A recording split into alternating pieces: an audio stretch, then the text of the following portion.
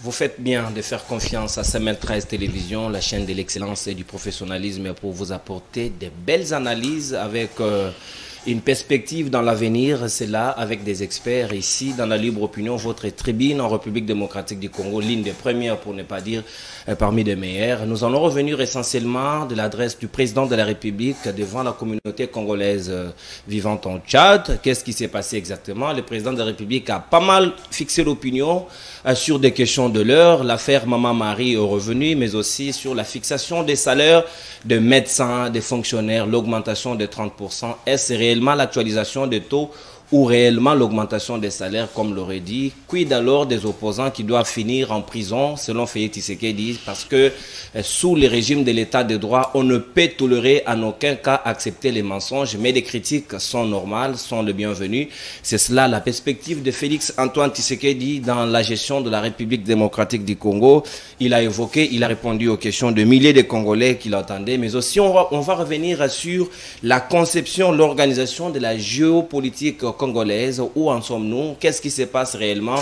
La recherche scientifique, qu'est-ce que nous avons autour de tout cela? Nous allons réfléchir avec un expert en droit, mais aussi en relations internationales.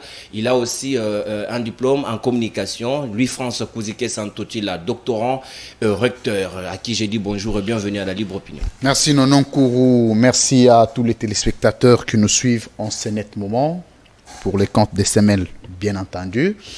Merci à toi-même et très sincères félicitations pour la montée du libre et débat, une émission qui fait la fierté euh, de la République à ce jour. Je suis l'homme le plus honoré de voir que la relève est très très bien assurée. Si demain je ne suis plus là, Semel ne séchera pas parce que nous avions mis une intelligence de voir le jeune, les intelligences émerger et je suis très très fier de vous. Merci beaucoup, ça me témoigne gros et c'est aussi une, une marque euh, de confiance et aussi Merci de beaucoup. management qui vous caractérise parce que vous avez cru en nous et vous nous avez fait confiance. Maintenant, on va revenir sur ce qui concerne la République parce que le président de la République s'est prononcé. Cela fait susciter beaucoup de polémiques sur la toile. Il fallait pas qu'il se prononce. Il s'est prononcé, il s'est rabaissé. Il a répondu à Maman Marie. Quelle lecture faites-vous de cette adresse du président de la République devant les Congolais au Tchad? J'ai suivi euh, plusieurs euh, réactions de la classe politique, de la société civile, du peuple congolais sur le discours du président de la République. Par contre, je ne suis pas venu critiquer le discours du président, je suis venu apporter quelques touches, quelques approches analytiques, euh, communicationnelles et stratégiques d'un homme d'État. Ici, je ne veux pas faire un focus sur la personne du président, du reste, à plusieurs euh, irrégularités dans sa communication, mais je voudrais présenter une bonne approche méthodologique d'ordre communicationnel qui permettrait aux Congolais, ceux qui accéderont aux plus grandes fonctions d'État, essayer de suivre cette ligne pour essayer de sauver l'image de la République aujourd'hui ternie. Je sais aussi que Louis-France Kouzike, aujourd'hui l'homme à battre. À toutes mes sorties médiatiques, je, je, reçois des alertes, on veut t'arrêter, on veut faire ceci, il faut faire attention. Je n'ai pas, je n'ai aucune attention à faire. Je suis un homme très très convaincu de ce que je dis et je suis le rare qui ne sorte pas les insanités dans la bouche, mais qui apporte des critiques scientifiques bénéfiques pour ceux qui commettent des erreurs. Si il y a quelqu'un qui estime que les erreurs qu'il aurait commises ne permettraient pas d'être corrigées, la prison, moi, ça ne me dit absolument rien du tout. Par contre, je n'ai jamais changé de discours et je ne changerai pas parce que je trouve que ce que je dis reste dans la rationalité pour les générations à venir, pour ceux qui viendront après nous, retiennent d'autres Lumumba, retiennent d'autres Pascal Niembo, retiennent d'autres figures emblématiques de l'histoire politique de la République démocratique du Congo. C'est ça ma conviction. Je reste dans la conclusion active que le président de la République n'est pas à mesure de gérer la République démocratique du Congo. Il a présenté plusieurs failles et limites. Et limites, et il continue à les présenter. Et ce discours ira jusqu'en 2023. Je ne saurais pas les changer aussi longtemps que la situation en face de moi ne change pas. Parce que je suis celui qui a détruit la théorie de la politique, du dynamisme politique. Après plusieurs recherches scientifiques, je suis revenu pour dire la politique n'est pas dynamique. Parce qu'un État qui opte pour un système politique, ce système politique ne peut pas changer aussi longtemps que la République est inscrite dans cette logique de gestion de gouvernance dans un système politique défini. Ce sont les individus qui changent de position. La politique n'a jamais été dynamique, ce sont des individus qui sont dynamiques. Et qui quittent des camps aux autres et qui s'adaptent au dynamisme, comment euh, Au statisme politique. J'ai apporté une autre théorie du statisme politique. La politique est la même. Les théories et les énoncés sont les mêmes. Les approches méthodologiques et des recherches sont les mêmes. Mais ce sont les individus qui quittent l'union sacrée pour aller à l'opposition. D'autres quittent l'opposition pour aller à l'union sacrée. Et ce sont les individus qui sont dynamiques. Il ne faut pas venir berner les gens que la politique était dynamique. Non. Parce que ce sont les individus qui font la politique. Très bien, ça c'est l'apport que vous je reviens maintenant.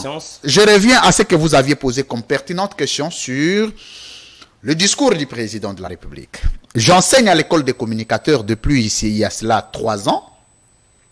La communication politique et stratégique et les langages d'hommes d'État. Ce sont des enseignements que nous dispensons aux jeunes de l'école des communicateurs pour assouplir la mentalité et être préparés dans la gestion de la chose publique. De savoir que la gestion ne se fait pas sur base d'humeur. Même le concept gestion est un concept transposé, nous, nous est venu d'ailleurs.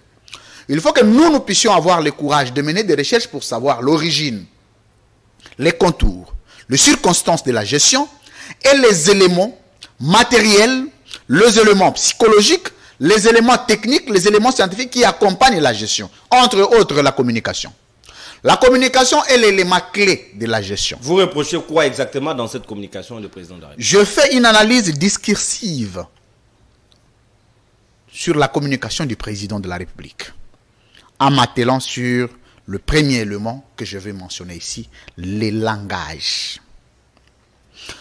Il y a toute, euh, une série de concepts, de, je vais le dire de façon terre à terre, les mots, les concepts qui sont applicables par les hommes d'État.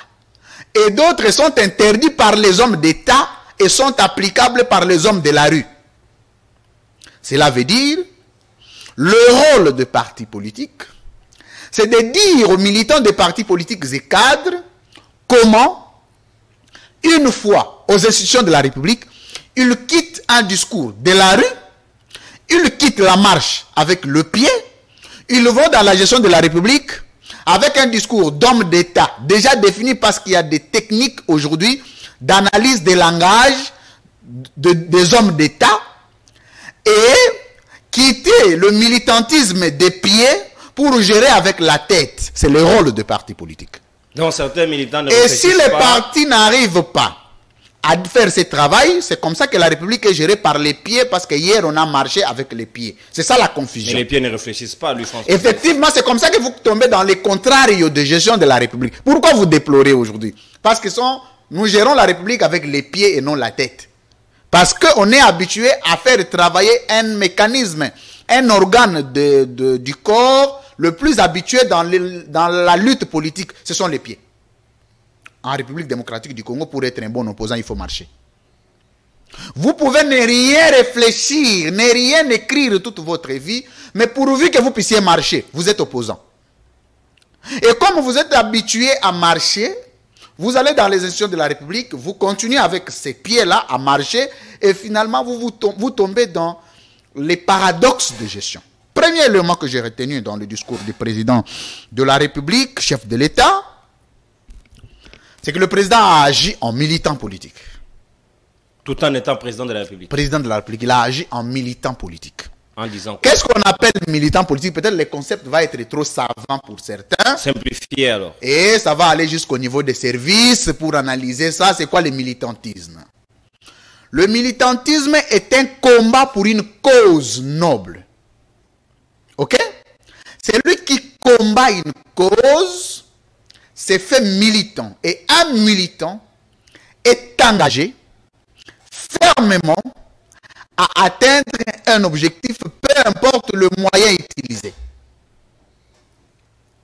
Par contre, les hommes d'État vous disent que le langage de militant devant les hommes d'État constitue l'affaiblissement d'une personnalité politique. Je vais vous donner un cas. Allez-y. Hier, c'était plus classique, c'était normatif, c'était rationnel pour les présidents de dire ba, ba, ba combat tabac.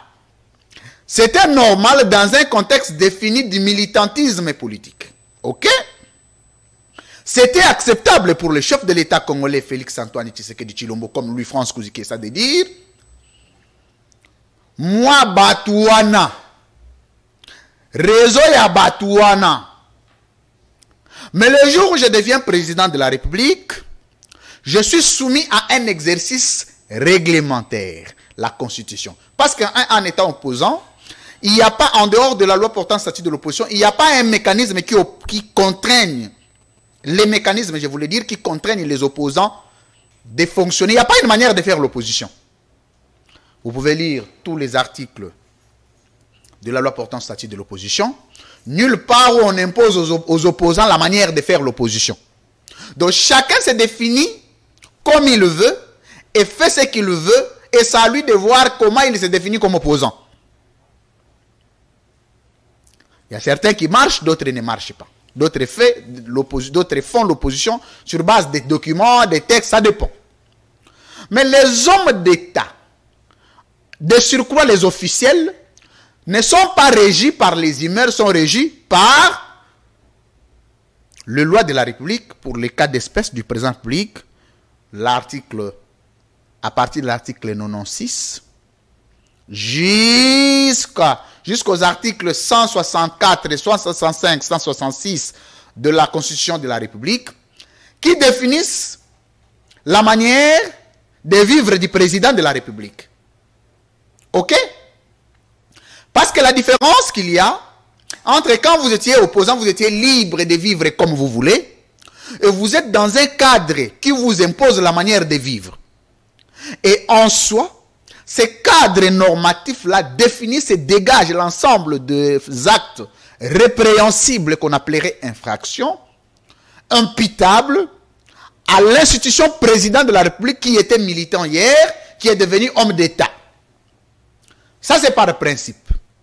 Maintenant, quand vous accédez à ces fonctions, c'est à vous d'apprécier, soit de violer ces textes-là, qui vous demandent d'être homme d'État et de savoir marcher comme l'on le veut, soit encore de continuer avec vos habitudes du militantisme politique. Et nous, en face de nous, quand nous sommes avec un militant, nous réagissons comme des militants. Attendez. Ça, c'est très bien. Attendez, j'aimerais je, vais conclure. On entre de plein pied dans les Je vais entrer. Pour nous permettre je balise de faciliter la compréhension de, de nos téléspectateurs. Je balise le chemin. Allez-y. Vous avez deux minutes pour ça. En face de vous, quand vous avez un journaliste, vous le traitez comme tel. Quand en face de vous, vous avez un menuisier, vous le traitez comme tel. Quand en face de vous, vous avez un président de la République, chef de l'État, vous le traitez comme tel. Mais quand vous avez un militant, vous le traitez aussi comme tel. C'est pas que devant un militant, il faut insulter un militant. Non, je suis de ceux qui disent que tout Congolais mérite le respect. Président sois-tu. Il faut que le langage de tous les Congolais soit quand même modéré quand nous parlons des autres êtres humains qui bénéficient de même souffle de vie que nous. D'abord, au-delà des institutions. Mais comment on traite un militant? Devant un langage militant, il faut une réaction militante. C'est ce qu'on appelle la théorie de la proportionnalité communicationnelle. OK? En communication, lorsqu'on utilise un moyen d'attaque, vous prenez le même moyen d'attaque, vous l'opposez, peut-être de façon disproportionnelle. Cela veut dire quoi? Cela veut dire qu'aujourd'hui, la communication utilisée par les présidents est la même communication que les adversaires, ses adversaires politiques utiliseraient pour la lui opposer. Et en ce moment, ça ne peut pas être des infractions. Non. Il a été question d'une réaction proportionnelle à la taille de l'attaque. C'est ça la communication. Le président République ne peut pas quand même s'attaquer à la population qu'il est censé gérer. Là, il s'adresse comme père devant ses enfants. Quoi je, je ne connais pas un père qui appelle ses enfants combat en tabac. Ça, c'était à l'époque. Ah, il n'était pas président. Il l'était, mais c'est ah, pas. Ah, mais il y a un moment où il est président. Le contexte a changé. Ah bon, donc il est président par contexte. Ah, je ne savais pas, je suis désolé. C'est notre président de la République. Il est président à tout moment. Si vous, vous pensez qu'il est président par contexte, moi je sais que c'est un président à tout moment. C'est à vous de définir c'est quoi le contexte quand il est président, quand il ne l'est pas. Et surtout, comment dissocier Alors, lui, France ça regardez comment on va procéder. Oui. Prenons d'abord pour les cas Maman Marie. Ça a quand même dérangé. La première dame a réussi, la, la, maman, et nous avons vu comment la procédure, d'aucuns, certains ont même pensé que la procédure a été violée, on ne pouvait pas la ramener à la première dame, nous n'en sommes plus là. Mais le président de la République s'est quand même prononcé sur les sujets. Il dit on peut quand même faire l'opposition, mais il ne faut pas faire de la manipulation. Vous prenez une dame, surtout euh, euh, euh, une maman de cet âge-là, l'utiliser, le manipuler, ça sont les propos du président de la République, jusqu'à aller dire que Niakiru n'est pas congolaise, ce n'est pas quand même correct.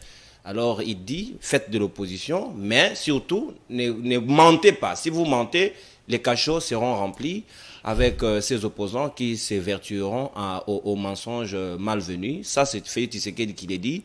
N'est-ce pas là, il tire euh, la sonnette d'alarme pour les. Si c'était si c'était arrêté de gens pour des casquettes politiques, le président Tshisekedi ferait la prison sous Kabila.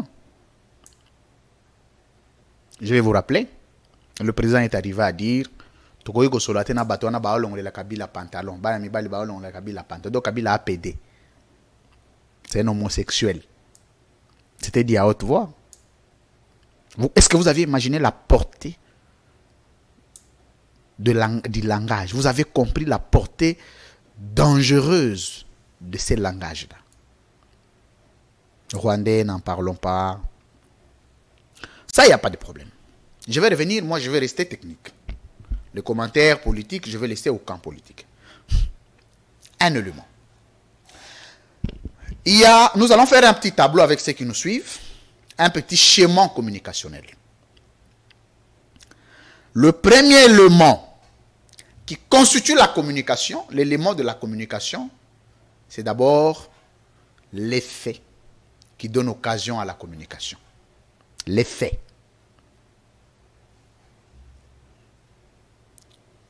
Quels sont les éléments sur lesquels le président s'est tablé pour rendre sa communication? Deux, l'acteur qui rend la communication. Les statuts de l'énonciateur. C'est qui la personne? Il est qui? Il agit en tant que qui? Le canal utilisé pour rendre cette communication et enfin la cible. Je, je commence par ma conclusion, la cible. C'était qui la cible du président de la République en rendant cette communication? Je vais réfléchir en toute intelligence. La communauté congolaise vivant au Tchad. Non, non, la cible, non. Ça, c'était ça c'était euh, les, récepteurs. Les, récepteurs. Oui, c'était les récepteurs. Les Congolais de la diaspora, Kenyan, c'était Tchadien, excusez-moi. C'était les récepteurs. Mais la cible, c'était qui? Les opposants. À qui était destiné ces messages-là les opposants. Entre autres, d'abord Maman Marie.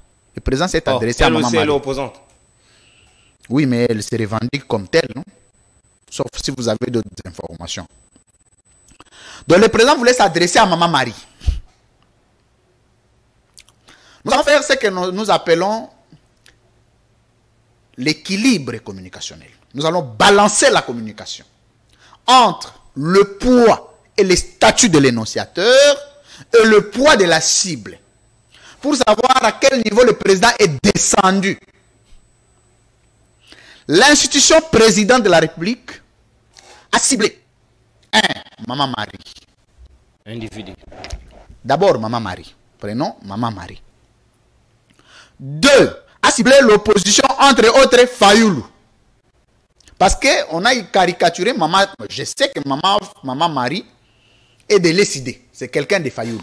C'est déjà affiché, elle est décidée. Elle est décidée. On la voit là-bas. Donc, le président a utilisé un micro pour répondre à Fayoulou. Répondre à Maman Marie à travers Fayoulou. Martin Fayoulou m'a dit. Troisième cible, les opposants congolais. Quatrième cible, tous ceux qui ne partagent pas les mêmes convictions politiques que lui. Bon. Maintenant, c'est aux cibles de répondre. Maman Marie doit répondre parce qu'elle a été citée. Martin Fayoulou doit répondre. Les opposants doivent répondre. Tous ceux qui partagent le, pas les mêmes convictions que le président, entre autres moi-même, nous devons répondre. Nous répondons à qui? C'est là où les bas blessent. Nous répondons à qui? Le statut de l'énonciateur ici n'est pas défini. Parce que ça aurait été Augustin Kabouya. Je comprendrai. Ça aurait été euh, Fils Mukoko. Je comprendrai. Ça aurait été un, un cadre ou militant de l'IDPS. Je comprendrai. Parce que ça quitterait les cadres officiels pour les cadres officieux et de surcroît un cadre politique. Et vous savez qu'entre les politiques, le coup se donne.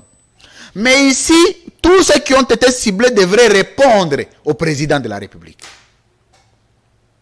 Qui a des services et qui a mis les services en difficulté. Parce que quiconque répond mal, ce sont les services qui vont l'arrêter. N'est-ce pas que les services sont prévenus? En cas de mensonge, ils doivent s'en voilà. saisir. Voilà. Donc, les services ne font pas un travail de défendre l'institution président, mais de défendre un militant qui s'attaque aux autres et dont les autres répondent. C'est qui les militants? Bon, je ne sais pas, est-ce que tu as compris la philosophie de mon analyse? Peut-être que je n'ai pas compris, facilitons la tâche à ceux qui nous suivent. Les, les opposants vont répondre à un langage des militants, d'un militant. Qui a été tenu par une institution. Par, par une institution. Alors, en ce moment-là, les services de la République devraient sanctionner quiconque répond à une provocation. Oh, mais je ne sais pas, vous, vous visez encore une Voici la magie. Quelle est la provocation? Attendez, moi je suis en train de vous faire Nous sommes dans les discours, on n'est pas dans la provocation. Je vous fais un schéma. Conséquence, la République a quitté le cadre normatif, un cadre réglementaire, un cadre officiel, un cadre institutionnel, pour le militantisme politique engagé. Et là, nous sommes, nous scientifiques, nous sommes perdus. Nous sommes perdus. Nous allons nous adresser, parce qu'ici, c'est comme ça que j'ai choisi, ne pas répondre à la communication du président, mais faire des propositions prochainement quand il prendra la parole, qu'il s'en serve pour lui éviter des attaques des autres militants. Parce que dans, dans le cas ici, Maman Marie peut aussi se prévaloir réagir. De, réagir. Et ça, ce n'est pas trop. Et il réagit à qui? Contre qui? Le président de la République. Qui l'a attaqué? Je ne sais pas si on se comprend. C'est comme ça que j'ai toujours conseillé quand vous atteignez un certain niveau de responsabilité d'État, vous devez faire très attention à deux domaines. Je dis et je le, je le répète assez souvent. Le droit administratif et la communication politique et stratégique. Ce sont deux domaines qui exposent les limites d'une institution. Quand vous n'êtes pas bien entouré dans ces deux domaines-là, vous êtes foutu. Quand vous prenez un journaliste qui était dans une rédaction, qui traitait les informations, vous en faites un expert en communication politique. Conséquence, tout le jour, tout ce que vous dites doit être critiqué. Aujourd'hui, le président ne peut rien dire qui peut être accepté. Rien. Tout ce qu'il dit a toujours des problèmes à attaquer. En soi, le président, c'est quelqu'un de très intelligent. En parlant, hein, moi je n'ai jamais étudié avec lui, je n'ai jamais travaillé avec lui, mais à l'entendre parler, c'est quelqu'un, quand il est bien entouré, il peut bien parler. Parce qu'il a déjà un langage facile. Il connaît un peu de français. Ça, c'est le point fort que vous décelez dans le président de la République. Ce n'est pas un point fort, c'est une Les qualité. Points forts, il y en a plus. Ok, parlons en termes de qualité. Ce n'est pas un point fort. Moi, je ne connais pas un seul point fort du président. Il n'y en a pas. Quand vous parlez des points forts, c'est en termes de gestion. Mais si nous parlons de ce que Dieu a doté à quelqu'un ou en quelqu'un, chacun de nous a des qualités. Entre autres, le président a un langage facile. Mais la traduction de du langage au fondement, parce qu'il y a un langage et un fondement du langage. Vous pouvez bien parler français pour ne rien dire. Il y a des enfants aujourd'hui, vous pouvez prendre un enfant, vous le mettez ici, parle en bon français, mais sans contenu. Les fondements du langage. Les fondements du langage, c'est quoi? C'est l'intelligence. La connaissance. Le langage, c'est quoi? C'est le français. C'est l'anglais. C'est l'espagnol. C'est le lingala, c'est le kimbala de chez moi. Ça, c'est le langage. Mais, les fondements, c'est ce que vous traduisez à travers votre parole. J'ai décelé trois problèmes dans la communication du président. Évoquez. Le premier problème, la frustration politique. Le président est très frustré. Un président de la République frustré. Oui, il est frustré. Comment ça? Il a fait cumul de choses et il ne s'est pas retenu. Mais, sûrement, les autres voient que Maman Mabunda avait été injurié, qui était euh, chef de corps. Le président de la République a accumulé aussi. Et quand il s'agissait de sa femme, il s'est aussi prononcé. Sûrement, il a pris tous les cas et il a résumé ça euh, à la première dame qui il ne faut pas, il ne faut pas, il ne faut pas se servir de l'immoralité pour résoudre la moralité ou pour résoudre l'immoralité. Quand nous avions parlé d'un régime qui est essentiellement versé dans l'immoralité, personne ne nous a cru. L'immoralité n'est pas que financière. L'immoralité est aussi comportementale. L'immoralité est aussi, euh, je veux dire, politique. Le président a fait cumul des choses et il s'est extraverti. Il ne s'est pas retenu. Et ça, c'est très dangereux pour un président qui n'a pas de nerfs solides. Par-dessus tout, c'est un humain. Qu'est-ce que vous voulez? Ça, ce n'est pas un humain, c'est une institution. C'est là le problème. Donc, dans votre tête, vous pensez qu'il y a un moment où tu sais qu'il n'est plus président. Non, il est président même quand il dort. Il est en chambre à coucher. C'est un président de la République. Il n'y a pas un moment où vous pouvez le dissocier. Malheureusement, malheureusement, il y a un problème d'usage de l'institution président de la République. Est-ce qu'il se pose un problème en RDC Je sais que les scientifiques, d'autres, d'autres scientifiques nous suivent, ils peuvent écrire là-dessus et sur le comportement, comment se comporter une fois les hommes d'État, les hommes d'État. dans la dimension. Ici, je, fais, je, je prends le cas du président de la République parce qu'on ne sait pas dissocier l'individu je, je, vais revenir, c'est une pertinente question. Ça, ça vaut la peine que les gens puissent avoir la maîtrise une pertinente de, la démarcation sur le comment faut-il se comporter. C'est très important. Je termine d'abord le grand problème que j'ai décelé ici. Le deuxième problème, c'est que le président n'est plus sûr qu'il est président de la République. Ah bon? Oui. Il n'est plus convaincu. Il en doute? Non, il n'est plus convaincu qu'il est président de la République. Alors pourquoi il est là? C'est pas à moi que vous posez la question. Je dis le président n'est plus sûr qu'il est président de la République. Il s'est oublié un peu. Il a un moment où il se pose la question est-ce qu'il y a un Et ça En attendant, à continuer au cinéma Troisième problème, troisième problème, c'est que le président n'était pas préparé pour accéder à cette fonction. Il n'était pas préparé. Vous avez les indicateurs? Oui, oui. Allez-y. Les premiers indicateurs, déjà, vous ne pouvez pas reprocher à un président de la République l'élégance politique. Non. J'accepte que vous puissiez reprocher ça à Louis France, à Augustin Kabouya, à, à qui que ce soit. Mais pas un président de la République. L'élégance politique, les charismes politiques. Ce sont des enseignements. Vous savez, dans certains États du monde, quand vous accédez à certaines fonctions, on vous garde d'abord quelque part.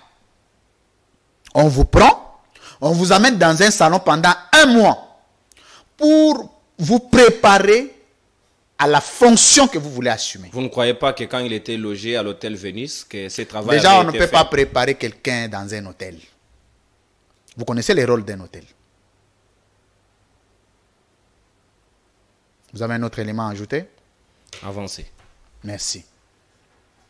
Donc, il faut préparer quelqu'un. À lui dire, attention, ça, ça ne se passe pas comme ça. Ça, ça ne se passe pas comme ça. Ça, ça se passe comme ça. Au moins, c'est un humain. Tu sais qu'il n'est pas Dieu. C'est un humain. il devrait comprendre la souplesse de certaines fonctionnalités juridico-administratives des institutions de la République. Et on appelle ça la posture d'un homme d'État. Ce que vous devez dire, un homme d'État, on l'apprend, comment vous devez marcher? On apprend à un homme d'État comment il doit parler. On apprend à un homme d'État comment il doit écrire. On apprend à un homme d'État comment il doit tenir ses lunettes et le mettre. On apprend à un homme d'État comment il doit prendre la parole en public. On apprend à un homme d'État comment il doit être habillé.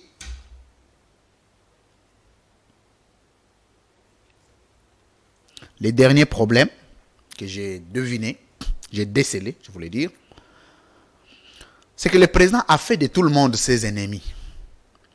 Dans ce pays, le président considère que tout le monde est son ennemi. Et tout ce que tout le monde dit, c'est contre lui, contre sa personne. Et il s'est mis ça dans la tête. Et c'est resté.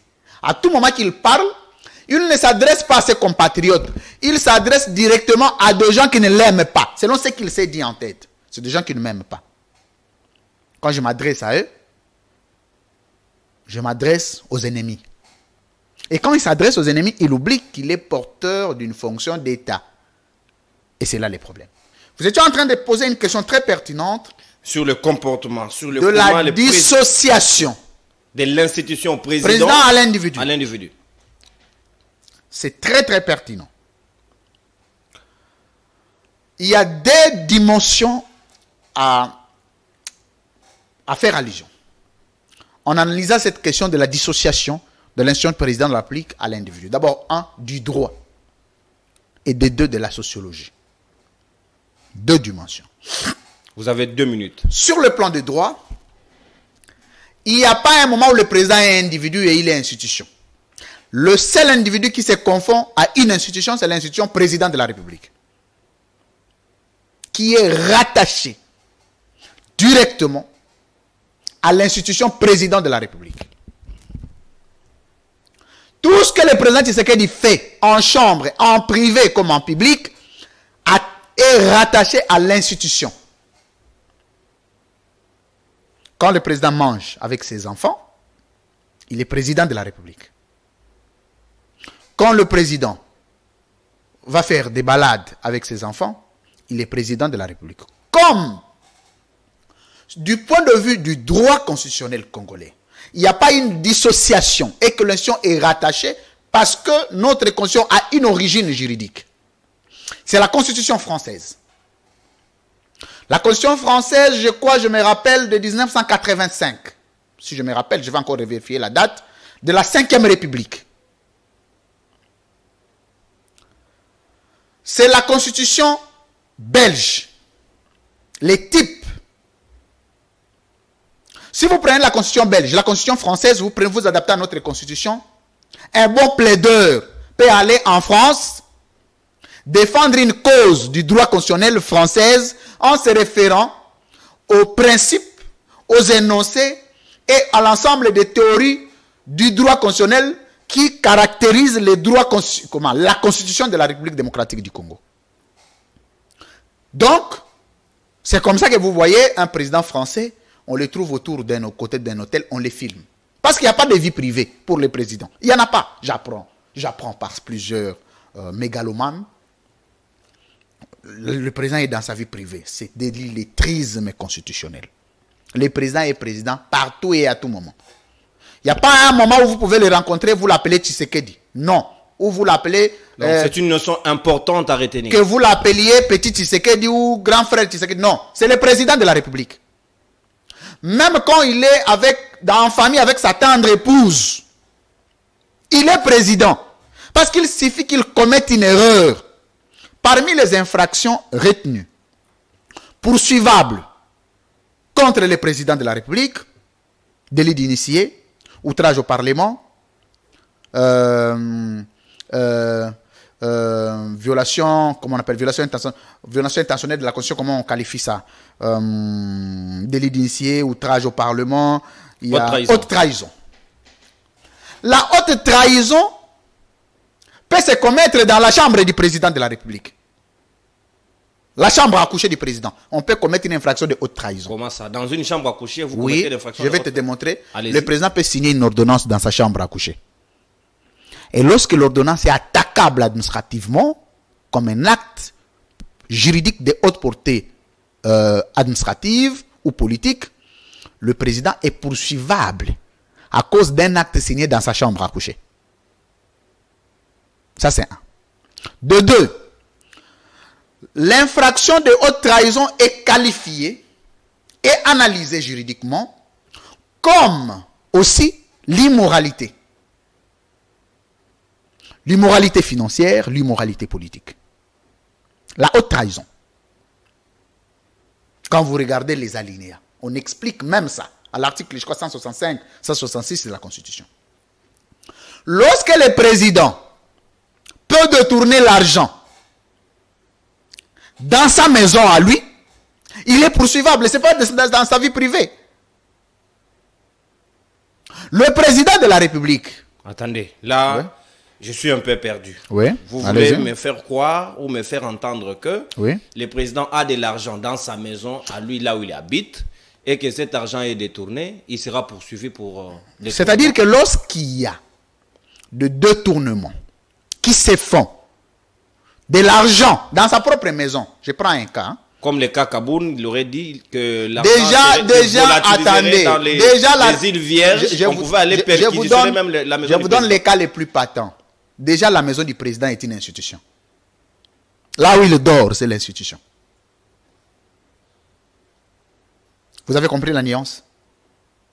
Nous, Nonon, nous, monsieur Nonon, nous passons notre vie dans la recherche, dans la lecture, dans des dimensions, des documentations, pour savoir ce que les gens ne savent pas. C'est ça notre travail. La maison du président est une institution. Vous savez, le siège de l'institution président de la République, c'est où? Monsieur Nononkou, Au palais de la nation. au palais de la nation, lui, il dort où? Monsieur Nonon. Moi, je ne réponds pas à vos questions. Vous Mais- réfléchissez à haute voix. Mais le président de la République, la première dame, son épouse, ses enfants dorment où? Dans- Au sein de l'institution. Quand est-ce qu'il faut dissocier maintenant que c'est dans sa vie privée, c'est dans sa vie publique? Quand? C'est la beauté du savoir. C'est comme ça, monsieur Nonon, je le rappelle toujours, que nous avons l'ambition de faire du Congo un État géant, un État de grandeur, une république construite, une république bâtie sur base des valeurs d'État. Très bien. Et voir les opportunistes, les gens qui sont venus au pouvoir pour s'enrichir, partir et laisser les gens qui ont l'ambition ferme de gérer ces pays accéder au pouvoir. Merci bien, Louis-France Kouzike Santoti. Là, bien avant qu'on aborde euh, la deuxième thématique, on va revenir sur les opposants qui sont avisés, qui sont avertis par le président de la République.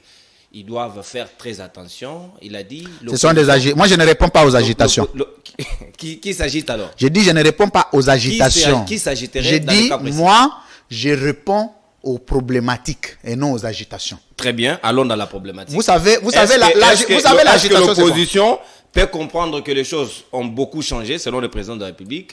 Le régime Kabila a été répété par la brutalité, la violence. Aujourd'hui, l'opposition a changé de camp. Il dit opposition comme kitoko, ya bango ya kalezaki ya kotakoli. Mais ya lelo opposition comme kitoko avec facilité gaz et arasute. soki okosi bokotonda na baboloko na bakasho et c'est là le- l'endroit le plus approprié pour ces gens d'opposition ou des opposants qui voudront bien dire les mensonges à la place publique ou diffamer comme ce fut le cas de Kaboun parce que à l'entendre parler il faisait allusion à cela Qu'est-ce que je peux répondre, hein, monsieur Non. Moi, je ne réponds pas aux humeurs et aux agitations. Vous savez, il y a des gens comme ça. D'abord, lui-même, il est agité et il agite tout le monde. Et si tu ne fais pas attention, et toi et l'agitateur, tous vous devenez agités. Donc nous allons nous agiter dans toute la République parce qu'il y a quelqu'un qui nous agite. Et c'est très dangereux. Nous avons besoin de garder un peu de sens, un peu de raison, un peu de rationalité, des ratios. Sinon, tout le monde, une seule personne peut nous agiter tous. Il y a des gens qui se disent Ah, ah, et on s'agite sur base d'une agitation. Non, il ne faut pas s'agiter. Il faut quand même laisser l'agitateur s'agiter jusqu'à la fin. Et après l'agitation, vient le calme. Merci bien. Moi, je veux que nous puissions aller dans, Dans les fonds. dans les fonds. Merci bien. On passe directement à la deuxième thématique d'un thème à un autre.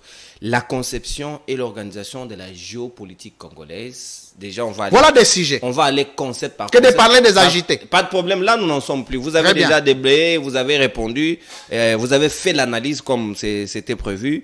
Et maintenant, la conception déjà de Je, l'organisation. je, je voulais, je voulais pas te couper. La, la, la théorie de l'agitation et de l'agitateur, c'est Maître Oh, il y a Pascal. déjà une théorie mise en place. C'est Maître Pascal Niembo qui m'en a donné. Il dit il faut pas que tu te fasses agiter à cause de l'agitation de quelqu'un. C'est pourquoi vous êtes prévenu. Il y a des gens comme ça qui peuvent venir, qui peuvent venir, ils commencent à t'agiter sans savoir pourquoi tu t'agites. Ils t'agitent toi, toi tu agites aussi les autres et tous vous vous retrouvez dans l'agitation. Donc, à tout moment que vous voulez vous faire agiter, gardez votre essence et laissez l'agitateur seul. Quand il s'agite jusqu'à la fin, il gardera son calme. Très bien. Maintenant, nous allons observer jusqu'où ira l'agitation, comme Très vous, bien. vous le dites. La conception et l'organisation de la géopolitique congolaise. Géostratégie. Gé- Géostratégie, voilà, allais-je dire. Hmm. Est-ce qu'à ce jour, nous pouvons déjà parler de la géostratégie en République démocratique du Congo? Déjà, il y en à a quel pas. niveau, à quel niveau faut-il penser la conception? S'il n'y en a pas, comment, comment la concevoir pour, que, pour la, enfin la mettre en place? Est-ce que vous aviez déjà entendu le président de la République parler de la géopolitique ou de la géostratégie en RDC Même une seule fois dans ses discours. Ces mots-là, vous l'avez déjà entendu? Sûrement, je ne fais pas attention. Vous aviez déjà entendu le Premier ministre parler de la géopolitique ou de la géostratégie en République démocratique du Congo? Vous aviez déjà entendu un officiel de la République nous parler d'une intelligence géopolitique ou géostratégique ici dans Vous notre pays? insinuez quoi par là? C'est-à-dire que l'essentiel de la gestion de la République, le développement de la République, la puissance publique de l'État repose sur la géostratégie et la géopolitique. Et si l'État, les animateurs n'ont aucune idée sur la géopolitique et la géostratégie, vous allez rester dans les agitations comme ça. On va vous agiter, non, on va arrêter tout le monde. On passe au côté de l'essentiel. L'essentiel ici, c'est la géopolitique et la géostratégie qui paraît trop savant. C'est savant. Faciliter alors la tâche. Concept. Malheureusement, je vais le faire pour l'honneur du Grand Congo. Euh, parce que nous sommes Congolais. Nous sommes obligés, nous, à chacun, chacun à son niveau, d'apporter la modeste expertise qu'il détient et l'ensemble de toutes les, experti- les expertises constitueront le socle du développement de la RDC. Tenez, aucun État au monde ne s'est développé en dehors de la recherche scientifique. Et effectivement, la recherche scientifique englobe la géopolitique et la géostratégie. Mais déjà, vous prenez, le ministère de la Recherche scientifique vous en donnez à un menuisier. Un menuisier, c'est-à-dire quelqu'un Conséquence, quelqu'un qui a appris la Conséquence, menuiserie. Quelqu'un qui a appris la menuiserie. conséquence, On lui donne un ministère de la recherche scientifique. conséquence, tous, dans quel pays comme ça? tous, tout le monde est agité. Parce que vous prenez un ministère de la recherche scientifique à travers laquelle, lequel je voulais parler du ministère, vous pouvez créer, inventer une nouvelle technologie d'intelligence artificielle pour vous imposer en tant qu'État, mais vous donnez ça à un menuisier qui, en principe, est censé nous fabriquer des chaises en bois et des tables Surtout des bancs. Et des bancs pour bien étudier. Regardez. Je vais partir d'une étude des configurations internationales et de l'organisation de puissance entre États. C'est une notion très importante qui constitue aujourd'hui une dimension de recherche au niveau du troisième cycle. Quand est-ce qu'un État devient puissant? Quand est-ce qu'il se fait respecter des autres États? Et quand est-ce que les États se respectent? Et quand est-ce que les États ne respectent pas d'autres États? Pour que nous, nous puissions savoir ce qu'il faut faire, de manière à ce que nous puissions être respectés et nous puissions être craints. La recherche scientifique. Il y a ce qu'on appelle l'autosurveillance et surveillance internationale. Tous les États se surveillent aujourd'hui. À travers je vais vous citer les éléments, les outils qui permettent aux États de se surveiller. Les ambassades. Déjà, nos ambassades, nous, ont totalisé plus de 8 mois d'impayement. Le consulaire, c'est-à-dire les ambassadeurs chefs, les, chefs de mission diplomatique, les organisations internationales, les envoyés spéciaux. C'est quoi l'objectif? Ici, c'est le cours. C'est quoi l'objectif de, surveillance entre États? C'est pour savoir, M. Nono est en train de fabriquer quoi en tant qu'État pour se rendre puissant? Les ambassadeurs au niveau des États fournissent des informations à la une. Voilà pourquoi quand vous allez aux États-Unis d'Amérique, vous allez en France, il y a un ministère chargé des questions africaines. Il y a un ministère chargé des questions de la République démocratique du Congo. Il y a un ministère chargé des questions euh, de, la République euh, euh, ukrainienne, de la République, comment on appelle? Israël et consorts. Israélienne. C'est quoi le rôle?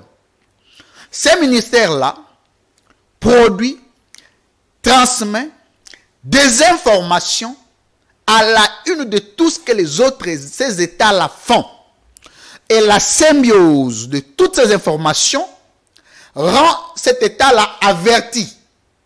Les États-Unis d'Amérique ont les informations à la seconde de tout ce que les États font, à travers les envoyés spéciaux, les ambassades, euh, le, le, le, le, plénipotentiaire, les organisations internationales. Et les États puissants font un effort, ce qu'on appelle les acteurs géostratégiques, font un effort d'infiltrer toutes les organisations internationales. Siéger dans les, les, derniers noyaux des organisations pour avoir des informations et influencer, booster, influencer la tendance des organisations internationales. Voilà pourquoi tu comprendras que lorsqu'un président africain est élu, les organisations internationales prennent position des pays puissants. Je prends les cas. Le président Tshisekedi est élu. Je ne sais pas il a été élu ou pas, mais c'est tout ce qui s'est dit. Le président a été élu. Quelques heures après, le Rwanda dit, nous ne reconnaissons pas ces élections. L'élu, c'était Martin Fayoulou. Deux heures après, c'est l'OIF, l'Organisation internationale de la francophonie. Quelque temps après, la résolution du Conseil de sécurité des Nations Unies demanda la, la surséance de la publication, des résultats. D'où est partie cette décision? La décision est partie des États-Unis d'Amérique à travers le Conseil de sécurité des Nations Unies et à travers l'OIF et à travers le Rwanda. Est-ce que vous avez regardé, vous avez regardé la hiérarchie de puissance? Mais pour légitimer la décision, il faut que ça, parte d'une organisation internationale pour crédibiliser la démarche. En ce moment, ce sont les organisations, les grandes puissances qui influencent les fonctionnalités sociopolitiques du monde à travers les organisations internationales. Mais dites-moi, nous-mêmes là, nous siégeons dans quelle organisation internationale? Nous, en tant qu'État congolais. Nous siégeons dans quelle organisation internationale? Plusieurs ambassades dans nos États, quand vous allez, c'est toujours fermé. Il n'y a pas de service. L'ambassadeur vient seulement quand on veut vendre les passeports. Et comme aujourd'hui on ne vend plus les passeports, c'est fini, il n'y a plus de travail. Le travail de recoupement d'informations n'existe pas. Est-ce que c'est de leur faute ou bien c'est de l'ambition qu'a le pays C'est pas de l'ambition, c'est pas de l'ambition à la disposition de ces ambassades parce qu'il ne suffit pas de demander ce travail à un ambassadeur il n'a pas les moyens de sa politique. Nous avions confié la République aux incompétents. Point. Il faut prendre ça comme ça. Tout le monde Alors, là. Assumez-vous parce que tout peuple mérite les dirigeants qui le méritent. Oui, c'est ce que j'ai dit. Et c'est comme ça que euh, après, ils doivent partir. Ah oui. Ils doivent partir parce que c'est horrible qu'un État fonctionne sur base. En fait, l'État fonctionne seulement à l'OIA. C'est là où l'État est opérationnel. Oh, donc la République est réduite seulement à la maison présidentielle. C'est l'OIA qui fonctionne plus que toutes les institutions. Les moyens, c'est là-bas. L'argent, c'est là-bas. Les documents, c'est là-bas. Les autres services sont, sont paralysés. Quand vous allez dans les ministères ici, plusieurs impayements. Les jeunes, les pauvres qui sont dans les cabinets Il y a la grève des médecins. Il y a aujourd'hui la Heureusement, vous ajoutez les éléments. de- les professeurs des universités. Heureusement, vous ajoutez. Les corps scientifiques à ils sont déjà en grève. heureusement, et vous ça, ajoutez. Demande à ce que euh, le ministre puisse Épargne- parler. puisse épargne par- Sama Non, mais c'est le, le chef, c'est c'est le président du gouvernement. C'est le chef du gouvernement. J'entends beaucoup, je n'ai pas terminé, il y a des leçons Il n'y a importantes. pas de que problème, je voulais vous placer ces éléments. Il demande à ce que l'on parle avec ces agents qui veulent partir en grève, et mais le président de la République dit les salaires à augmenter. Comment vous conciliez les deux? Il y a ce qu'on appelle le système politique, l'organisation du système politique d'un État. Et les ambassades, et le gouvernement, et le président sont dans un système. Mais quand le système est fondé sur la corruption, vous voulez que Sama Lukonde fasse quoi? Il est dans le système, il doit nager comme tel. Mais si Ferré il doit partir lui aussi, parce qu'il y a pas longtemps, on pense déjà au réaménagement du gouvernement, il peut partir. Pourquoi Parce que le premier gouvernement a déjà fait quoi? Pour réaménager un autre. Le premier a fait quoi? S'il fallait réamé- réaménager le gouvernement, et réaménager aussi le président. Là, il faut un mandat. Pour Il être cohérent. Parce que tous font Le partie- gouvernement n'est pas élu, lui, France. Il faut Tous- faciliter la compréhension. Tous font partie du système pervers, putréfié. Et ne pensez pas que vous pouvez épargner les éléments constitutifs du système, croyant résoudre les problèmes dans le système. Non. Le système est défini comme une chaîne. Il suffit qu'une seule dent ait un problème, toute la chaîne a un problème. C'est clair. C'est pas de la magie, monsieur Nononkuru. Je reviens. Revenons. Les États se surveillent, nous-mêmes déjà nous ne surveillons aucun État.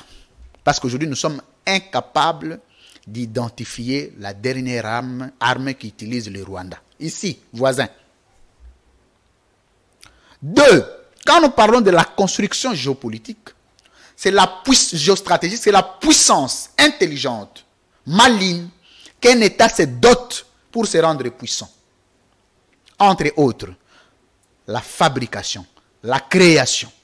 Qu'est-ce que nous, nous avons déjà créé en quatre ans et fabriqué? Pendant que les autres États se vantent de, de bombes atomiques créées, de bombes chimiques créées. Là, on revient encore à la recherche scientifique.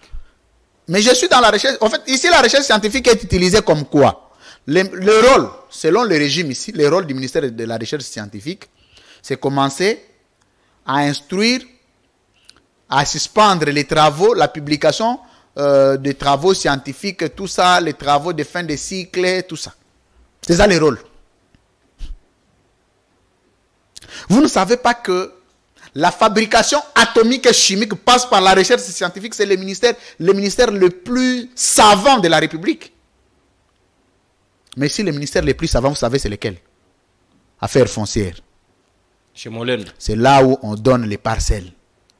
C'est- Cette, cette- cette République, je ne sais pas. Non, il faut arrêter tout le monde finalement. Parce que nous n'arrêterons pas de parler, mais de bien parler. Parce qu'il y a la différence des gens qui vont à la télé pour insulter. Depuis que j'ai commencé ici, vous allez regarder. Non, non, jusque-là, il n'y a pas d'injure. Nous sommes Il dans n'y a le pas d'injure. Si on m'arrête, c'est qu'on m'a arrêté injustement.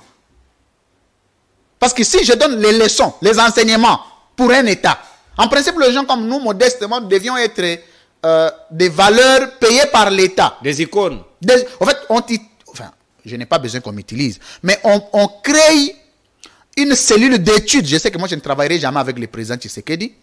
Même aujourd'hui, Maître Pascal Niembo décide d'aller avec Tshisekedi. Moi, je quitterai. Parce qu'il ne faut pas que je donne l'impression que je suis en train d'attendre un travail. Mais, on a une cellule d'études, des savants, un cercle de réflexion qui produit des intelligences à l'État. Qui dit à l'État comment il doit fonctionner au fait. Mais ici, dites-moi un peu quel est le réseau intelligent qui utilise et qui est opérationnel, qui fournit à l'État la documentation, l'intelligence et les informations. Si ce n'est pas nous mettre, nous les pauvres, sous écoute, qui ne présentons aucune menace pour la République. Déjà, nous n'avons aucune identification de ce que les autres États font. Non seulement nous ne sommes pas en mesure d'identifier ce que les autres États, parce que vous savez que l'État, tout État est une menace pour l'autre. Chaque État est une menace pour un autre État. Et c'est une menace permanente. La stabilité ou la stabilisation de la menace passe par la construction géostratégique de cet État-là. Plus on vous sent fort, plus celui qui se sent fort moins que vous se calme. ne pensez pas que la guerre à l'Est terminera par le discours chimérique euh, qui, que tout le monde s'est fait ici, non? Le président a rencontré, le président a envoyé, les comités de suivi. Ça, ce sont, ce sont, c'est du blabla. Le jour où le président Tshisekedi partira et un, un président de la République entrera, vous verrez que c'est rien la guerre à l'Est ici, c'est rien. Les Congolais ont cru que quand Kabila part, c'était lui le diable, comme il était vendu. Sa peau a été vendue, très mal vendue d'ailleurs, à un vil prix. Mais aujourd'hui, il est parti, nous avons eu l'alternance. Le président Tshisekedi nous a permis. Croyez-vous que les Congolais en ont, soi, ont, ont, ont, touché ou ils ont palpé à la vie dont En ils ont soi, espéré. aucun Congolais ne devrait penser à Kabila. En soi. Aucun Congolais ne devrait regretter le départ de Kabila. Mais celui qui nous a fait regretter le départ de Kabila, c'est l'incompétence du président Tshisekedi.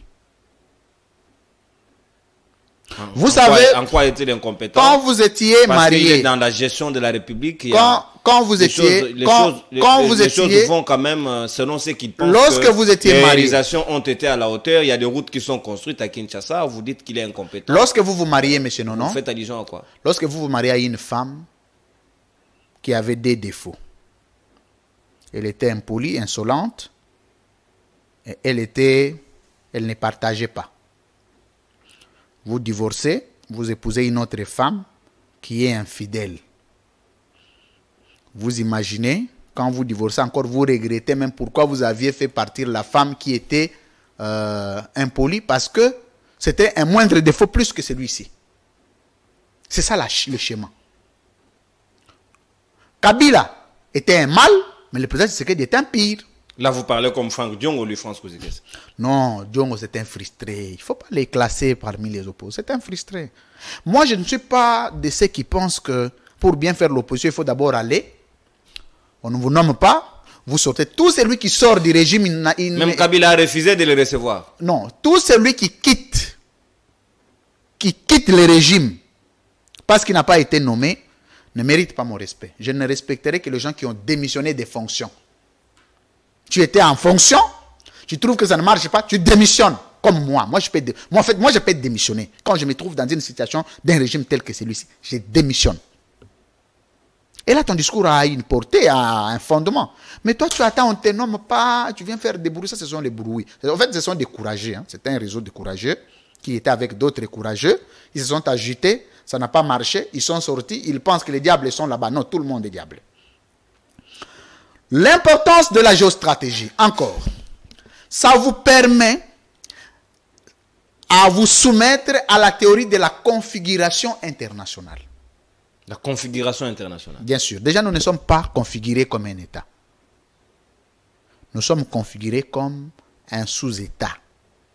Comment ça, lui, France Un sous-État Tous comme une- les éléments constitutifs de l'État. ça, c'est la théorie. démocratique du Congo, en Ça, nous, ça, avons la les théorie. sols, nous avons les territoires, nous avons la population, nous avons même la reconnaissance internationale, Très nous bien. avons les pouvoirs. Vous faites allusion. J'aime beaucoup quand vous rebondissez scientifiquement. Moi aussi, je vais rebondir scientifiquement. La superficie de la RDC est de combien? En dehors de Bunagana. Parce que couper Bunagana, enlevé. La superficie est de Là, il combien? faut chercher les géographes et les géologues pour nous Déjà, vous voyez que déjà l'État n'a pas de superficie. Vous avez parlé du sol. Donc la RDC a perdu quelques mètres. Et c'est normal pendant deux mois. Mais c'est non cours. Pour être un État, il faut avoir un sol. Quand on parle du sol, on parle de, de la théorie du bornage. Vous connaissez la superficie de tel à tel. Mais si vous enlevez Bunagana aujourd'hui, la superficie est restée de combien? C'est toujours un sol ou une partie du sol? Deux, il faut avoir un peuple. Le peuple congolais a un taux de combien? Le taux démographique de combien? Nous sommes combien au total aujourd'hui? Ça, c'est le recensement. Mais c'est combien? Parce que toi, tu m'as donné les éléments constitutifs d'un État. Moi, je t'oppose euh, j'ai les détails. J'ai script au fait ces éléments-là pour te dire que ce sont les faux. Dis-moi un peu, nous sommes à combien en tant que peuple? Combien aujourd'hui? Parce que pour parler d'un peuple, il faut que les taux démographiques soient définis. C'est ça la science, l'exactitude, la véracité, l'universalité. Est-ce que vous pouvez me dire aujourd'hui, le peuple congolais est à combien? Est-ce que nous sommes bloqués ou on peut avancer? Non, vous avancez. Non, non, j'avance avec vous. Non, non, moi je ne réfléchis pas avec vous. Moi je vous pose des questions, vous me donnez des réponses. Je comprends que vous êtes bloqué. Je ne suis pas bloqué. Nous ne savons pas combien nous sommes. Ça, il faut attendre le recensement. C'est déjà doit travailler avec la des éléments pour nous donner les fichiers. Des éléments sont tombés. Des éléments sont déjà tombés. Troisième élément, le gouvernement. Mise en place. Le pouvoir public est là. Les pouvoirs publics. Quand je veux dire ça, ne prenez pas ça du mauvais côté. Est-ce qu'on peut nous dire aujourd'hui la légitimité des institutions de la République, en commençant par le Parlement et le président de la République? D'abord, un, le Parlement, comment le président est arrivé à obtenir la majorité dont il était minoritaire au Parlement Parce qu'on parlait du pouvoir public, c'est la légalité et la légitimité. Deux choses. Vous ne pouvez pas parler du pouvoir sans légalité ni légitimité. Et lui-même, le président avait obtenu combien aux élections? Mais c'est non, non. La CENI nous a donné les résultats. Non, combien? C'était 38%. Pas, le, pas le pourcentage, le, nombre de voix. Sur combien de votants Près de 6 millions ou 8 millions, quelque chose de comme ça. Près. Mais je n'ai pas la maîtrise des chiffres. Vous savez, il y a ce qu'on appelle la, la numérisation. Pour ceux qui ont fait euh, la mathématique, la numérisation repose sur l'exactitude. Même le virgule compte. En mathématiques, quand vous oubliez la virgule, c'est que c'est une mauvaise réponse. Le président a obtenu combien de voix sur combien de votants? Troisième élément, on est bloqué. Quatrième élément, considération internationale. Reconnaissance juridique. Le secrétaire d'État américain vient d'être ici, il a fait des déclarations. C'est ça la reconnaissance. Hein. Et la RDC visité aujourd'hui en international, concert des nations, nous avons repris place. Je vais, je vais, doter, je vais doter une définition. Dans la, dimension de la diplomatie agissante. Je vais doter une définition. Non, déjà la diplomatie agissante n'existait pas. Dans, dans les classements diplomatiques. La diplomatie agissante n'existe pas. C'est une diplomatie née à la dixième rue. C'est un, en fait, la dixième rue aujourd'hui fonctionne. On se lève le matin, on crée des concepts et on bombarde. Et les institutions récupèrent ça. Donc, dès que les institutions commencent à doter à la dixième rue les concepts, c'est la dixième rue qui dote aux institutions les concepts. Je suis désolé. Diplomatie agissante, c'est quoi? Je n'ai jamais entendu de relations internationales. Des relations internationales. Chercheurs. Je n'ai jamais entendu. Doctorants bientôt professeur d'université, enseignant. Dans votre propre domaine, on vous utilise des termes. Et s'il y, a une chose, s'il y a une chose la plus ridicule dans la vie, c'est que tu aies, tu, tu, tu aies des difficultés dans ton propre domaine. De ton propre domaine à toi, tu as des difficultés. Je n'ai jamais entendu parler de la diplomatie agissante, non. La diplomatie agissante, ce concept-là est un concept social, enfin, classe, comment on appelle ça? Euh, c'est un concept né de la rue. Hein. C'est quelqu'un courageux qui s'est levé le matin, comme il est écouté par la République, il parle et tout le monde capte. Un courageux. Un courageux. Les formes de la diplomatie sont définies. Et leur nomenclature, et leur nomination, et leur forme, dont la diplomatie agissante n'existe pas. Je reviens encore à l'importance de la géostratégie. La diplomatie, la géostratégie vous permet, un, à vous sécuriser et à sécuriser votre peuple.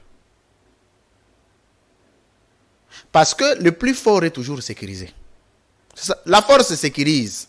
Vous savez, aujourd'hui, si moi je suis doté des 14 éléments de la garde républicaine, en sortant ici, aucun policier ne viendra me chercher. Mais nous, en tant qu'État, nous nous promenons à pied, à zéro heure, du côté des poids lourds, sans aucun bâton en main. C'est comme ça que la RDC, c'est comme ça qu'il faut, faut définir la RDC. Un État au niveau international, déjà, il y a ce qu'on appelle euh, au niveau du troisième cycle la sécurité internationale. C'est un professeur dispensé, que c'est un cours dispensé par le professeur Kitima, je crois, qui, qui a enseigné à euh, au niveau euh, de relations internationales, il est, c'est parmi les enseignants du troisième cycle la sécurité internationale. En fait, l'insécurité, la, sécurité est un principe, l'insécurité est une exception. Est une règle, l'insécurité est une, est une exception. Tout le monde doit se considérer qu'il est en insécurité. Tout État, tout le jour quand il s'élève, il se dit, nous sommes en insécurité. Qu'est-ce que nous devons faire?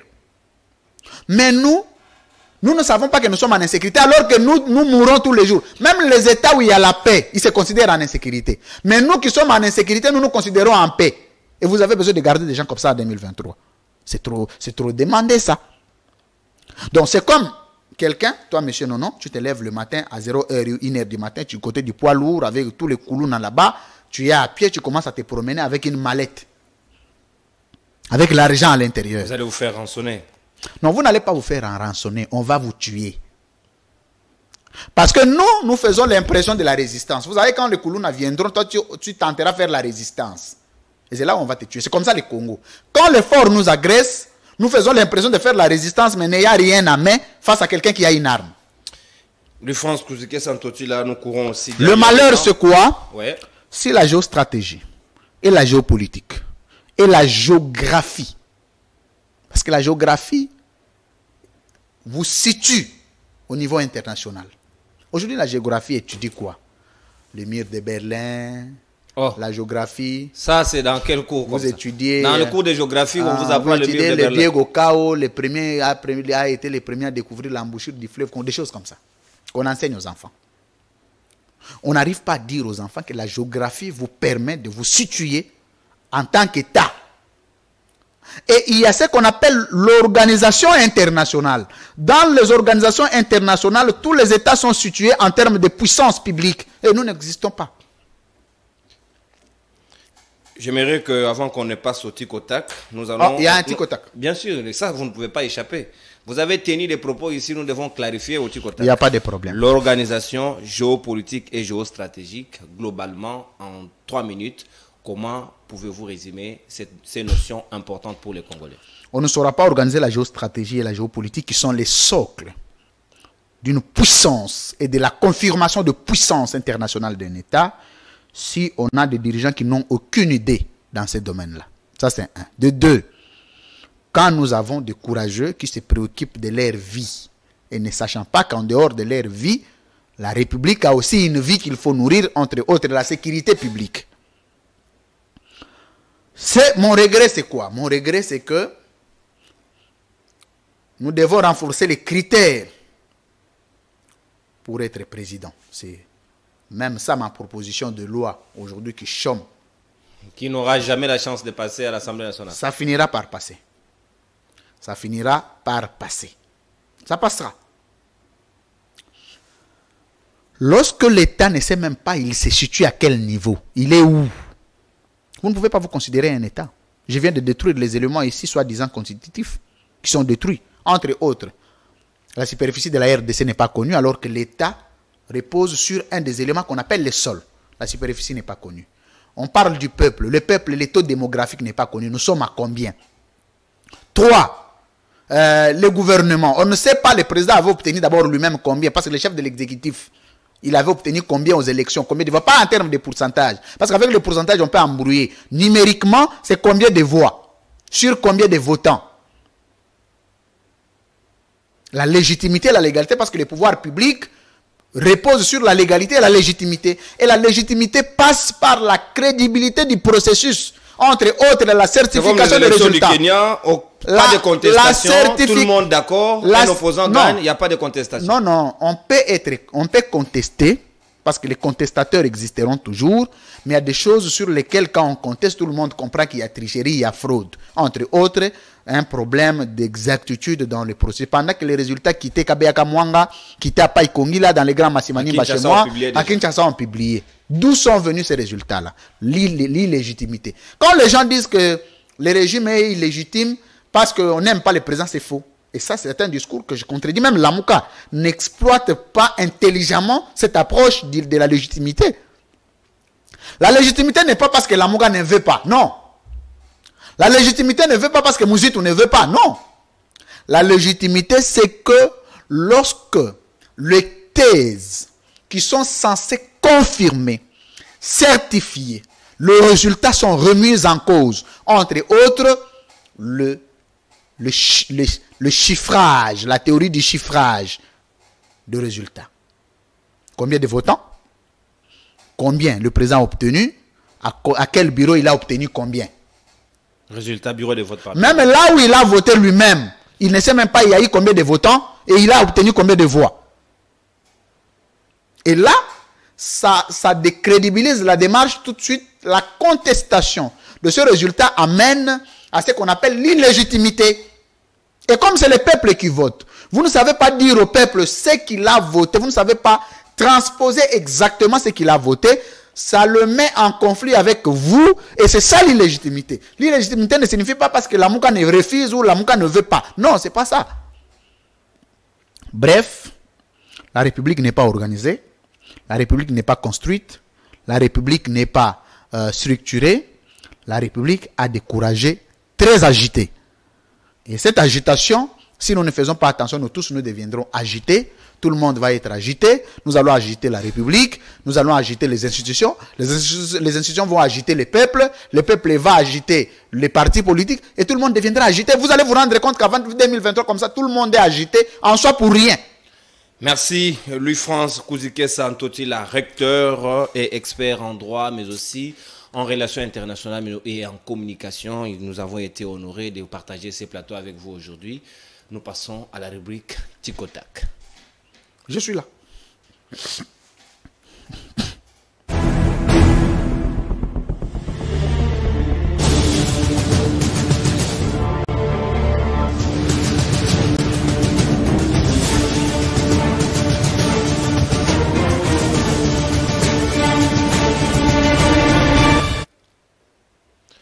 Louis-France Kouzikesan Totila face à la caméra. Vrai ou faux, le président de la République, Félix Tshisekedi, en s'adressant devant la communauté congolaise au Tchad, est descendu plus bas. Vrai. Vrai ou faux, Félix Tshisekedi, toujours dans la même communication, a agité tout un peuple. Vrai. Et il s'agite lui-même. Je vous ajoute. C'est le truc au tac. Oui. Vous répondez seulement. Je peux toujours vous compléter. Non, ne complétez pas. C'est la logique de la rubrique. Donc, vous ne complétez pas. Lui, France Kouzike Santotila. Vrai ou faux entre Maman Olive sous Joseph Kabila et Maman Denise sous Fayette Sekedi Maman Olive a été la plus injuriée que Denise Nyakero, mais que le président Joseph Kabila ne s'est jamais, jamais prononcé sur ces injures. C'est clair, c'est vrai. Et quand Félix Tshisekedi se prononce, croyez-vous qu'il soutient sa femme ou il défend la République? Ni l'un ni l'autre. En fait, il, il, il, a oublié son rôle. Il a oublié son rôle parce que là, il a agi en mari et nous nous adressons au président de la République. Il y a confusion. On ne donne pas les explications au Ticotac. Non, je vous aide. Vous ne m'aidez pas, vous répondez aux questions. Je commence par répondre et puis je vous aide. Vous ne m'aidez pas. Vous répondez, souffrez que vous répondez aux Parce questions. Parce que moi je sens que Tikotak est trop faible et que vous-même vous, donnez déjà des réponses. De faiblesse. Les questions sont ici, vous ne donnez que des réponses du France. Arrêtez les intimidations, nous sommes au Tikotak. L'UFRANCE Kouzikessa face à la caméra. Vrai ou faux, vous avez dit tout à l'heure que L'institution président de la République et l'individu qui gère ou qui mène cette institution devraient bénéficier de bonnes notions de formation pour bien gérer la République. Tout est un enseignement. En un mot, très bien. La formation, c'est encore rien. J'ai dit en un mot. Vous voyez que les questions sont très difficiles que vous êtes obligé d'ajouter Je vais au-delà. Non, ne va pas au-delà. Je vous pose une question, vous répondez, vous donnez que la réponse. Oui. C'est tout ce que j'ai besoin, pas plus. L'UFANS Kouzike-san Totila face à la caméra. Il faut bien regarder la caméra. Ouais, je regarde. Hein. Très bien. Est-ce que à la présidence de la République, le président de la République, on le rend très bien service ou bien il est entouré par un réseau de courageux? Si on les rend bien le service, il est entouré des réseaux de courageux. Est-ce qu'il est entouré d'un réseau de courageux ou bien il est entouré des Congolais conscients qui lui rendent service Et lui-même et l'entourage, tous sont courageux.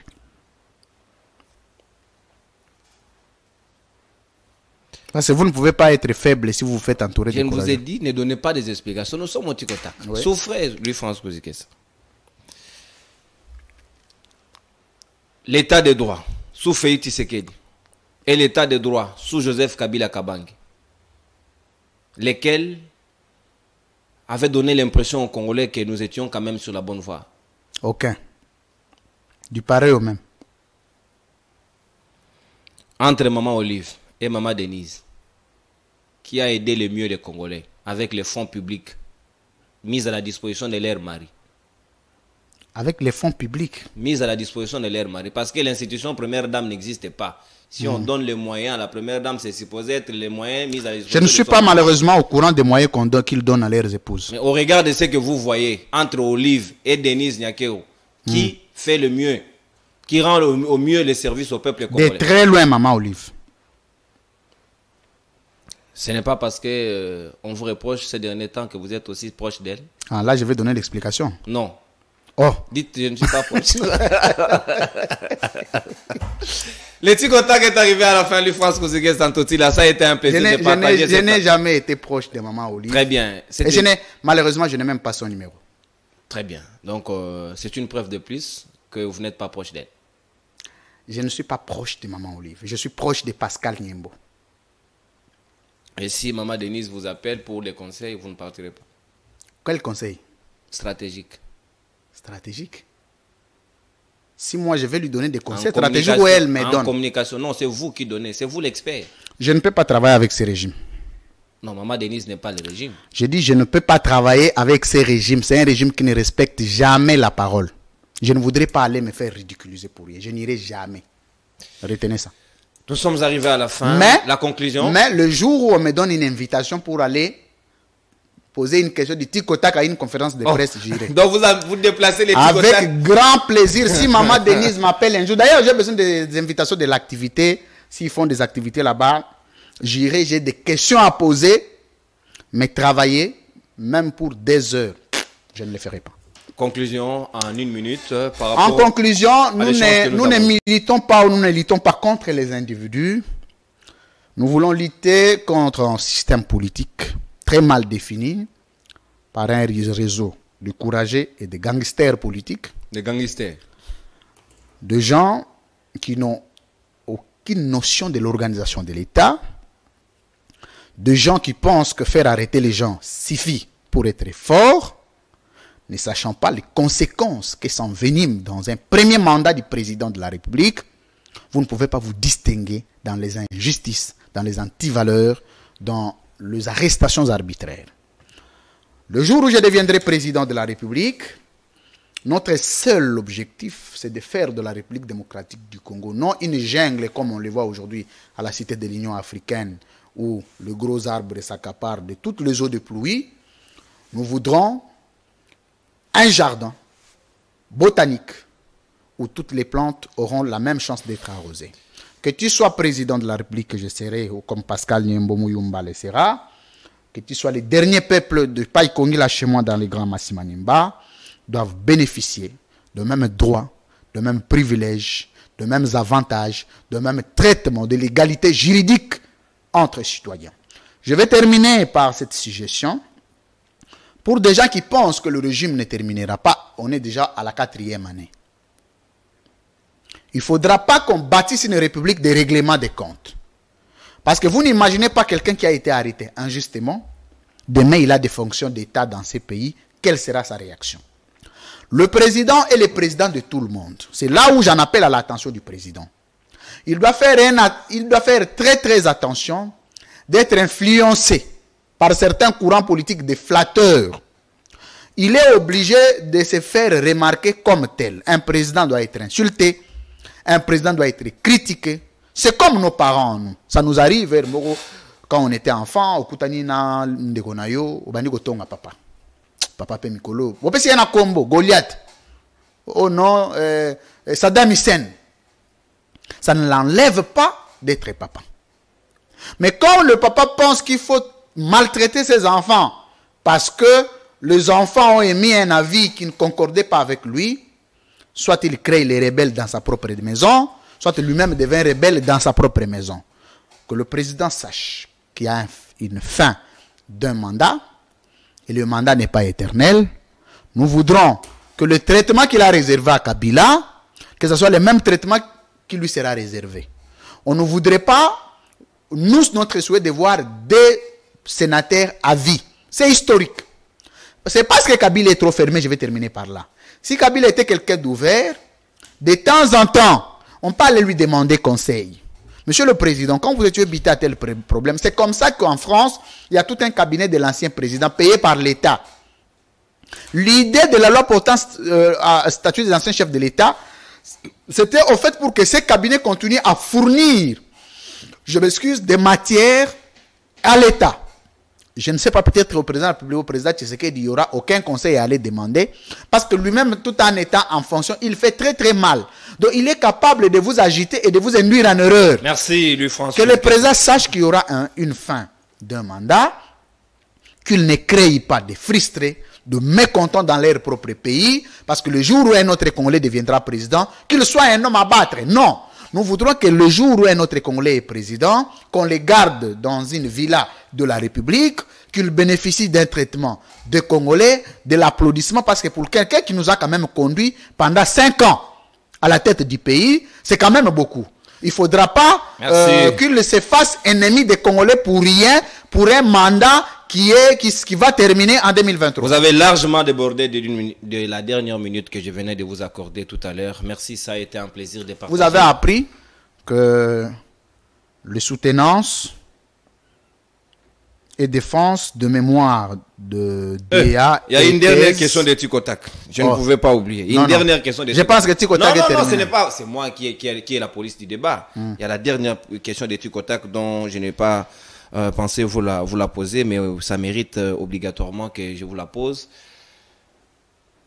Lui, France Kouzike Santoti, le ministère de la Recherche scientifique de la République démocratique du Congo est-elle gérée par un technocrate ou par un menuisier? Par le dernier statut. C'est-à-dire? C'est-à-dire ce que vous venez de dire en dernier. L'émission d'aujourd'hui est arrivée à Donc j'étais en train de dire que c'est fini. les soutenances ouais. euh, et défense de mémoire de DA et thèse sont suspendues. Entre-temps, les scientifiques ne peuvent plus mener des recherches. Et la suggestion. Vous voyez tous les travaux des fins de cycle, même graduat, même licence, en principe, ce sont des travaux qui développent les États. L'État et le ministère des Recherches doivent recourir aux travaux des fins de cycle des étudiants pour recouper un peu, approfondir des recherches. Mais quand vous allez dans toutes les universités, les travaux de fin de cycle sont vendus par les mamans qui vendent l'arachide, l'arachide et les beignets les travaux de fin de cycle, les travaux savants, les premiers livres de tout scientifique. Donc l'État ne se préoccupe même pas des travaux de fin de cycle. Allez pour nos frères qui sont à la diaspora, on vous dira que lorsque tu fais un bon travail scientifique de fin de cycle, que ce soit en DA, que ce soit euh, une thèse, l'État peut recourir à ça pour mener des recherches et dégager des thèses dedans et développer la République. Mais ici, chez nous, vous avez les dirigeants, vous posez la question. J'ai reçu l'invitation de Maître Guillaume Manjolo à travers mon tweet. Aucun ministre n'a écrit. Le président lui-même, je ne sais pas s'il a déjà écrit un livre, mais les ministres, je ne connais pas. Aucun ministre n'a écrit. Très désintéressé à la lecture. Un peuple désintéressé à la lecture. De moins en moins, il y a des publications d'ouvrages. Tout le monde est préoccupé dans les mines et dans les parcelles. On y reviendra. Vous voulez bâtir une république comme ça, de courageux, de gangsters, de gens désintéressés à la culture de la lecture, mais très agités, donnant l'impression, mais non, monsieur Nonon euh, il faut que nous puissions repenser cette République. Merci bien. Très il faut, important. Il faut repenser la République parce que ça vaut suffisamment la peine, lui, France Kouzike Santoti, là. Il n'y a pas eu d'injure. D'ailleurs, c'est par là que je voulais conclure. Il n'y a pas eu d'injure. Il n'y a eu que des idées, que de la réflexion. Si vous voulez bien répondre, venez solliciter le plateau, mais avec des analyses pertinentes. non, mais celui qui pense qu'il a des contradictions à m'apporter, moi, je reste ouvert. ouvert. Venir chercher Il peut venir un débat. Contradictoire, comme ça. un débat. Les idées, les idées peuvent s'opposer. Un débat, vous restez là-bas, nous on reste ici. D'accord, très bien. Donc, les champs est libre, venez. Nous serons là pour vous recevoir, mais surtout que les Congolais gagnent dans tout ça. Pas plus ni moins. La libre opinion plutôt de ces jours arrive à son terme. Merci surtout aux Congolais de la diaspora. Vous étiez nombreux à nous suivre. Continuez à faire confiance à votre chaîne de l'excellence et du professionnalisme parce que vous devez vous abonner, surtout aimer, partager les extraits comme vous avez l'habitude de, le faire. À la prochaine euh, pro, production. Ce sera cette fois-là lui, France Kouzike Santotila lui-même qui reprendront reprendra les bâtons de commandement de cette émission. Quant à moi, je vous retrouve demain pour euh, Libre Débat. Au revoir.